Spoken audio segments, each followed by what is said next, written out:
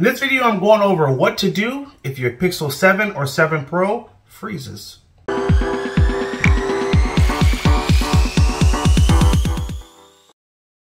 Welcome back to another video. I'm your tech guy, Wayne.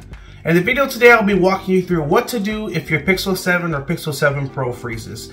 If you notice that your touchscreen is not responsive, you're touching it but nothing is happening, there is a simple button combination you can follow to soft reset your phone and it mimics the process of like taking the battery out of the phone kind of like what we used to do with old school phones. So first thing we'll need to do is hold down on the power and the volume up button for about 10 seconds or until your screen goes dark.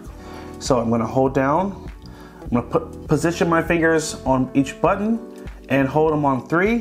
One, two, three, hold. Now you'll see the screen pop up that's gonna give you some touch options. Obviously, if the touch screen is not working, you won't be able to touch those buttons. So just continue to hold these two buttons until the screen goes dark. Now that it's dark, the soft reset was successful. It has turned the phone off.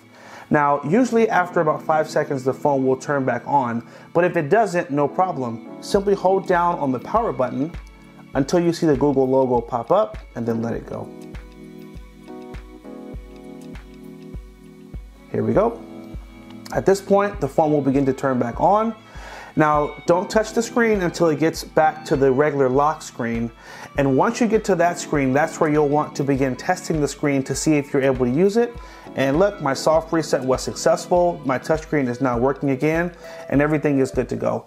Now, if the touchscreen is still not working, that means you might have a bigger problem and you might need to bring your phone into a service and repair center to have it diagnosed.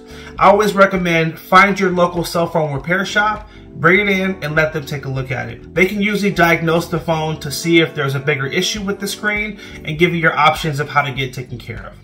Hope you guys found that helpful. If it was, hit that like button down below. And if you're not already a subscriber, hit that subscribe button to stay tuned for more videos. Thanks for watching. Take care. And as always, have a good one.